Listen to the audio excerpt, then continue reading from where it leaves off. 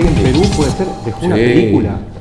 Un culto el Guachana se llama la película. Eh, eh, la vi hace poco por primera vez, como todo el, circuito, claro. Hasta tuvo premios y qué sé yo, y me junto con Hugo Álvarez, que fue otro argentino que estuvo conmigo haciendo esa película, ¿no? Que también estaba exilado con su familia, sus hijos. Este, ahora está por editar su libro de memorias, digamos, ¿no? A mí me parece que la experiencia peruana fue eh, muy dura, en el sentido de que fue la primera cosa eh, al salir del país, entonces todavía uno está pensando en volver y que y a medida que se va enterando de lo que pasa, nosotros estábamos en medio del campo, yo no era de experiencia campesina, no, mi teatro siempre estuvo en la ciudad, no como otros grupos que estuvieron eh, experiencias campesinas, yo no, me parece que una vocación citadina, entonces estar en medio del campo lleno de de los indios amigos, este, era muy exótico, como si hubiese ido a la India, digamos. Al mismo tiempo, lo que yo aprendí en esos siete meses de experiencia exótica, no lo aprendí en ningún otro lado. O sea, fue muy doloroso y al mismo tiempo eso todo a 3.500 metros de altura, nos faltaba el aire un aislamiento espantoso para enterarnos de lo que pasaba acá, no había manera, teníamos que ir a, Cusco y en Cusco ir al aeropuerto y medio también bajo control porque nosotros estuvimos eh, citados por la policía peruana y nos quería mandar a Ancón, una, isla, una playa, para tenernos bajo control. Y nosotros nos escapamos, le pasó lo mismo a Mario Benedetti, nos escapamos con un director amigo del cine peruano, nos fuimos a vivir a, a Calca. No, eso fue muy raro, pero probablemente a donde yo aprendí más fue eh, ese, ese periodo, ¿no? una sociedad extremadamente distinta con una historia que te obligaba a, decir soy indoamericano, no soy europeo ni nada. Ahí las cosas son de verdad, digamos. Y las luchas, las internas, todo lo demás. Yo terminé siendo como médico. Probablemente el, el modelo del Che haya influido también, ¿no? El Che cuando recorrió toda esa parte se convirtió en, va, ejerció la medicina, porque sabés que es lo más, lo que más se necesita, ¿no? Hay mucha tuberculosis, muchas enfermedades, y nosotros teníamos, que sería divertido, estábamos llenos de genioles, y con eso nos convertíamos en médicos, porque al tener la posibilidad de comprar un medicamento, te convertís en, en un sanador, ¿no? arreglábamos camionetas, este, hicimos revólveres con bicicletas. No, una experiencia. Y había guerrilla en ese momento en, Perú, la de Blanco. Y había tendencia de la lota continua de los italianos, que nos tenían entre cejas. Yo nunca me enteré por qué, pero ¿qué hacemos ahí? hemos eh, hecho planos de cómo se hace un inodoro. Eh, fue una cosa muy exótica, donde queda más impreso en la cabeza una experiencia de ese tipo. Después ya Venezuela, que volvía a trabajar eh, porque para sobrevivir en la televisión se sonar, es un espanto ya me parecía mejor estar en Perú. ¿No te salía el acento venezolano? Entre otras cosas, porque ahí se trabaja con un aparato en la, oreja y tenés que decir lo que estás escuchando. Un espanto. Después fuimos a México, difícil. un rato, y ahí sí, como mi compañera era francesa, fuimos a Francia. Sí, aunque teníamos cierta comodidad, yo no podía trabajar y eh, también por el idioma, ¿no? tuve que ir a la Alianza Francesa a estudiar franchute. Este, los franceses son difíciles, ahora están mejor porque necesitan del turismo, pero en esa época nos trataban, pero ¿qué, haces acá? Sería, pero en francés, ¿qué es que tú?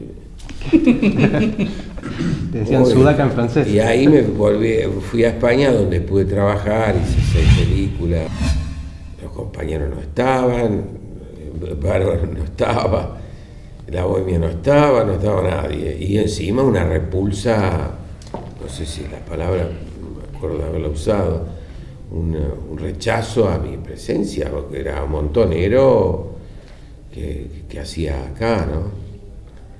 Este, y, negado en los medios para trabajar, qué sé yo. Bueno, a mí no me hicieron ni una nota de, mi llegada hasta más o menos el año y medio. Primero empecé a trabajar con los chicos, este, los hijos de los desaparecidos, entonces ya había un grupo que estaba al cuidado de esos pibes, eh, yo hice teatro con ellos y ta, ta, ta. Me parece que fue una muy buena decisión para encontrarme con los que todavía estaban siendo solidarios con, lo que había pasado y, pensar qué sería lo que viene. Eh, está muy duro momento. Eh, yo sin vivía en la casa de un amigo, este, ni para tomar el colectivo. Y toda esta encerrona de estar en contra, aparecieron al, año eh, ciertos compañeros solidarios, eh, en la televisión, compañero pro-palestino, digamos, este, y, algunos colegas que se interesaron por mi suerte, pero hasta que no aparece el kirchnerismo, toda la cosa montonera, este, aunque yo había pertenecido de otra manera al movimiento, etcétera, era la cruz, te hacían la cruz. Y a partir de ahí hay una integración que yo no hago porque me opongo a, a este, a este gobierno, este, pero hay muchos compañeros que se meten en el plato.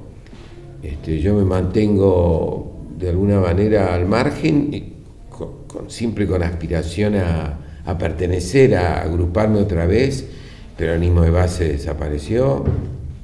Hay compañeros que, este, que, que seguimos viéndonos y qué sé yo, Carlos Anares, el periodista de resumen, ¿no?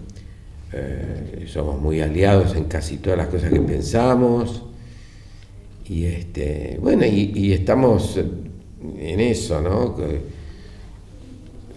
Porque tu militancia en el peronismo, o ligada al peronismo de base, tiene que ver con el grupo Octubre en los 60 y, y Mujica. ¿Podés comentarme un poquito de eso? Bueno, el cura Mujica con Aznares eh, son de alguna manera los que primero visualizan el tema eh, de la cultura, introducir al tema de la militancia de la cultura, cosa que después más bien nos trataron, nos trataron como pequeños burgueses. Eh. No, sé, la verdad que nunca se discutió esto en serio, pero nosotros íbamos con el grupo Octubre a a los barrios, a la fábrica, eh, muy ligado al tercermundismo, a los curitas del tercer mundo. Y hemos recorrido el país en un camión, de hemos hecho una tarea muy linda que se sigue haciendo, porque ahora está el grupo Miguelitos. ahora estrenan una obra, ¿no? Ya estrenamos en, la Villa 21 y el domingo que viene vamos a Claypoli. ¿Cómo es la empanada verde? Se llama la obra. Empanada verde, sí. Le dije, pero ustedes tienen un problema de tener una fábrica que es territorio extranjero, porque está bajo las leyes de otro país. Quiere decir que usted tendría que el ejército ocupar ese lugar porque es una ocupación de un cacho de, de, territorio norteamericano. No, no, ¿qué? ¿Cómo? No, no, no. Pareciera que dije algo chino, pero es cierto. Si un lugar se está legislado con leyes de otro país, ese, ese lugar es otro país. O sea que cada fábrica es un territorio expropiado a tu propio país. ¿Por qué no lo tratan como tal, como si hubiese una invasión de una corporación que una ocupación territorial? Eh, no sé después qué puede seguir, pues, porque no sé si es posible, pero si vos haces una denuncia de que hay una ocupación territorial por parte de una corporación norteamericana o, lo que sea, este, sí, de capitales yanquis. Claro, vos podrías al otro día tener eh, el, el ejército, alguna de estas fuerzas que están siempre a la derecha de, la historia argentina, más tener que decir, váyanse de acá porque ese es territorio argentino. Porque no puede ser que en territorio argentino haya leyes norteamericanas. Acá se está haciendo la obra de Vidé, la, cinta móvil. Sí, la muerte móvil, la, de Vicente Muleiro, eh, que a mí me pareció muy interesante hoy qué estética se podría utilizar con un tema de este genocida, ¿no? Este, y pareciera que es un fenómeno muy importante, la hicimos en otro momento y no pasó nada, y ahora se llena el teatro, gente afuera. Eso después está El barro se subleva, que sería un poco la biografía de un tipo que quiere cambiar al mundo y le resulta un poquito difícil. Sí, porque también cree que necesita de los otros, pero los otros no quieren estar con él, etc. Es tema de izquierda.